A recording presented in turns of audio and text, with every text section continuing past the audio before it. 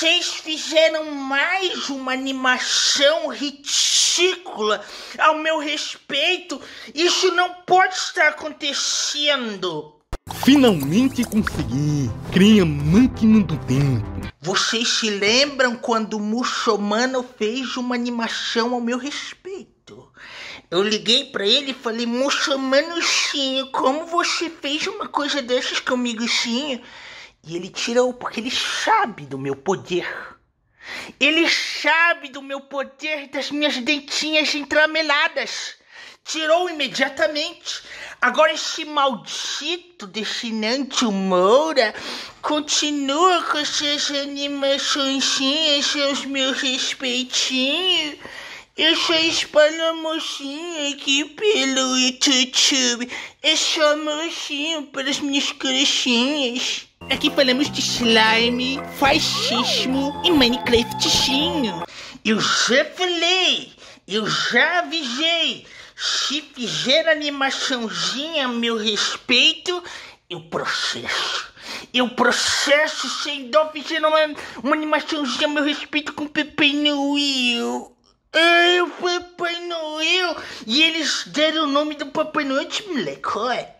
Só porque eu me confundizinho e falei uma coisinha de hebraico, de hebraico, é de hebraico, é de hebraico. Eu não mereço essa zoeira toda, eu não mereço isso. Eu virei um cantorchinho de restart. Eu sou fã de crepusculinho agora.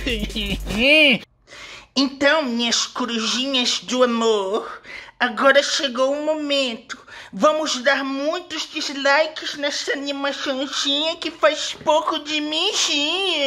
Eu que só dou mozinho, só dou para as pessoas, ó, mozinho vai assistindo. Clique no primeiro link na descrição e deixe o seu dislike.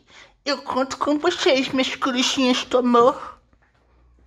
Isso tudo é seu? Isso tudo é nosso? E como você conquistou tudo isso?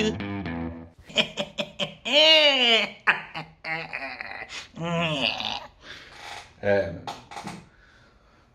O Kleber me ligou, que é o animador, para mim um dos maiores animadores do Brasil. Ele me ligou e falou assim: "Via bicho, você você é, toma um monte de de prochechachos, né?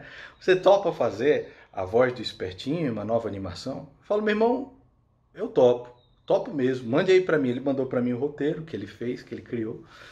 E para mim é muito divertido. Eu pego meu celular, vou lá no gravador de áudio e mando para ele. Dublo, dublei todas as vozes, né? Do William Bond, das crianças, do, do Doctor também. E para mim é uma diversão.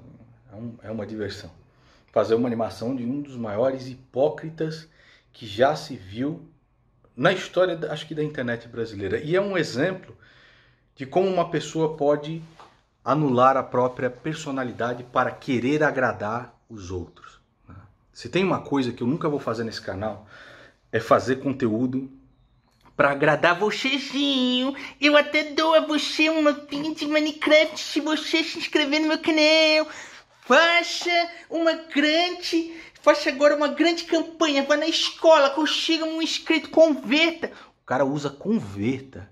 Converta um inscrito meu canal. e aí como é que ele faz? Ele faz uma, uma pesquisa de mercado na internet para ver qual tipo de, de conteúdo tá dando uh, like, view, inscrito. Então, na época da Kéfera, ele foi lá, estudou o tipo de conteúdo que a Kéfera estava produzindo, produziu conteúdo igual. Aí o Rezende viu qual tipo de conteúdo que o Rezende estava construindo, né, fez um conteúdo igual. E ele vai abocanhando como um gafanhoto esses nichos. Né? Uh, aí o Você Sabia. Não, teve a época do funk também, né? Ele viu que o funk cresceu muito. Aí ele que detestava funk, já criticou inúmeras vezes, começa a produzir conteúdo né, fazendo react de MC Melody, fazendo react de Anitta, aí, aí acabou essa política aqui no YouTube, certo? Então, o que que tá, o que que tá bombando? Qual que são, qual é a maior fatia de público? Como eu engajo mais pessoas possível? Aí estudou o tipo de conteúdo do canal Você Sabia, produz conteúdo parecido com o canal Você Sabia. E uma série de outros. Aí vê que o Minecraft tem uma fatia gigantesca do Minecraft. Vamos abocanhar o Minecraft também. Eu quero dinheirinho, gostaste. E aí também é, agradando a beautiful people, né? Então o discurso, é claro que ele vai tirar qualquer tipo de opinião dele política, religiosa do YouTube. Né? Agora no Twitter ele vai lá e vai agradar a beautiful people sempre. A mesma beautiful people que ele começou criticando porque não interessa. É sempre uma máscara, é sempre o trono de pó. Deixa eu abaixar isso aqui que eu diabo no WhatsApp. É sempre o trono de pó. Eu devo ser o cara mais doido aqui no YouTube. Porque eu comprei briga com o meu próprio público. Quando comecei, eu, eu não ia ficar quieto, eu não ia deixar de mostrar aquilo que é absurdo e que a Gadolândia hoje defende. Consulto ao senhor presidente da República se gostaria de fazer uso da palavra. Obrigado pela oportunidade. Eu quero confessar que estou emocionado em ocupar um lugar de destaque à direita do presidente do Supremo Tribunal Federal. Nesse recinto, que é um verdadeiro santuário para a justiça brasileira. Eu devo ser o único doido aqui.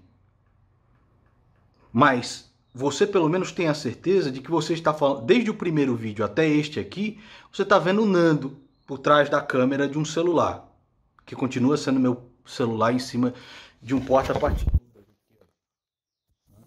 Então continua sendo o celular em cima de um porta-partitura, amigo. Mas eu não vou me anular.